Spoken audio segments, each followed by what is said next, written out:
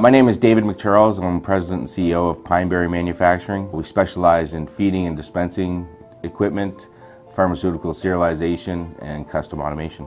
So today we're introducing our serialization and aggregation CartonTrac system. The most special thing about it is we're stacking the cartons afterwards doing banding the cartons and doing a full aggregation with our partner who is Adents. They supply the software and the integration of the full line.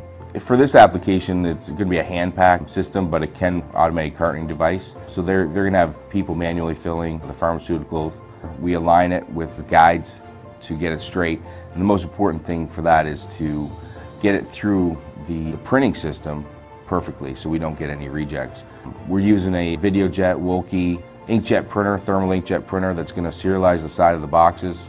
We use a Cognex camera to do the verification we're tracking through an encoder and the Schneider Electric PLC. For this system, one of the biggest components is a robotic stacking system that we had custom made with our partner Schneider Electric. Schneider's been a partner with us for the last eight years now and uh, they supply all our PLC and motors and HMI and, uh, and now some of the robotics that they have to offer we're, we're starting to implement into our projects. My name is Brent Houghton. I'm operations manager here at Pineberry Manufacturing. We're using the XY gantry robot from Schneider Electric. It's running on integrated servo motors, which means it doesn't require a servo drive.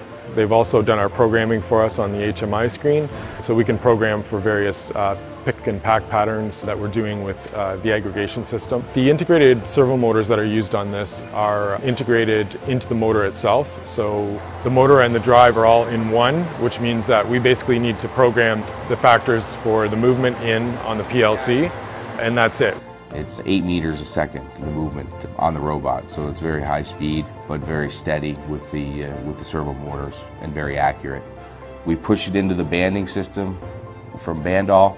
We wrap the band around it. We push it through the bander, band it as one single unit, and after that we, we label the entire band with the information that, that the, the whole banded bundle contains. At that point we have another Cognex camera that takes a picture of the whole group and then it gets pushed out, uh, print and apply with a Weber labeling system, and then out to an operator. The technology there is a tamp and blow system.